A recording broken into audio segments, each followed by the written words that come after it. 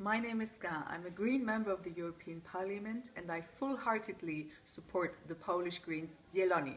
This Sunday in Poland you have the choice who to get into power and if you want a better future for Poland, a Poland of sustainability, uh, where people are at the core of economic policies, where nature plays its role, where we create a better future for all people in Poland, then your best choice is the Green Party of Poland. Good luck.